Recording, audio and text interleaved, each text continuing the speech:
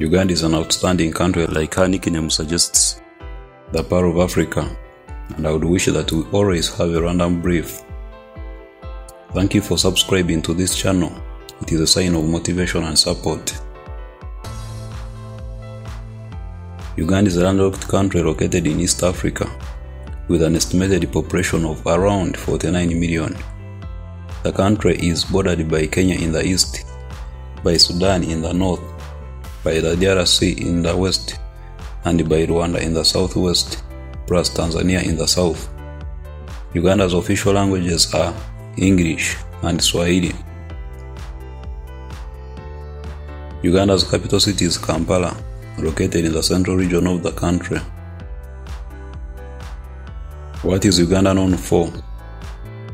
Uganda is home to mountain gorillas in Bwindi Impenetrable National Park, gorillas and golden monkeys in the Mgahinga Gorilla National Park, and hippos in Murchison Falls National Park, plus snow-capped mountain, Mount Rwenzori, among others.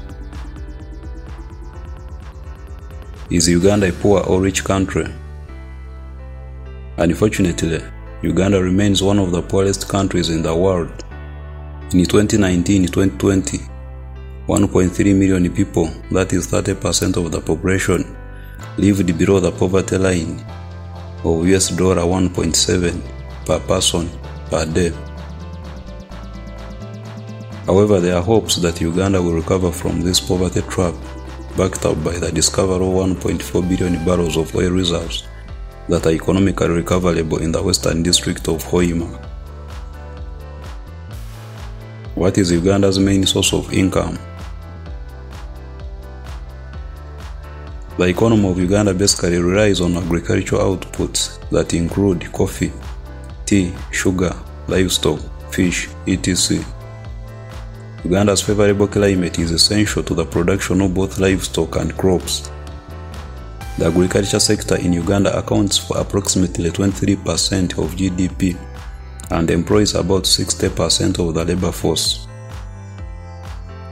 Why is Uganda so special? Uganda's outstanding physical features include the largest freshwater lake on the continent, that is Lake Victoria, the source of the longest river, that is River Nile, that flows a distance of 6,600 kilometers from Uganda to Mediterranean Sea, the strongest waterfall in the world, that is Murchison Falls, plus the largest number of primates and the highest number of mountain gorillas worldwide. Why is Uganda called the Pearl of Africa?